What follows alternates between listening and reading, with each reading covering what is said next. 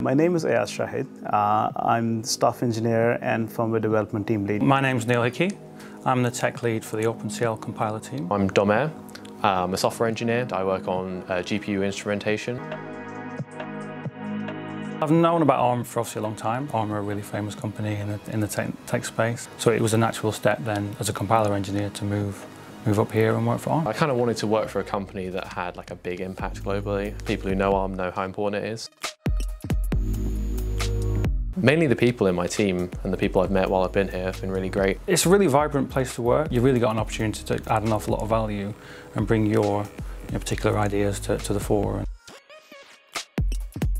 My team have been one of the main drivers towards starting up a new high-level language group within Khronos. And that's taking both Vulkan and OpenCL APIs and trying to come up with a way of addressing both of them. The type of work that we do drives the GPU and it drives most of the performance uh, gains that we are getting uh, along with the power optimization and so this is going to be the next step in, in, in getting the GPU up a notch.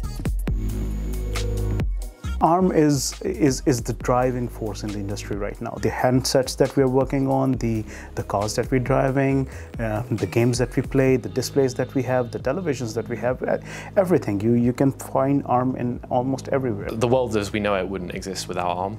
Um, or it would be very different at least. The ARM architecture has been sort of fundamental for the last 10 plus years of most technology that's interesting.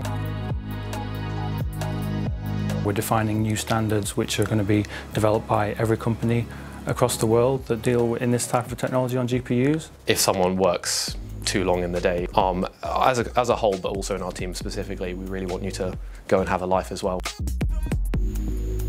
ARM has a very friendly culture. I've made a lot of friends from the other graduates who joined when I joined. A lot of people sort of around the world in all the different offices that you get to see and interact with. People are heard here. Uh, every opinion matters. So there is a good mix of experience and, uh, and youth and new ideas coming along. So you get to um, share some of the experience with the very best in the market.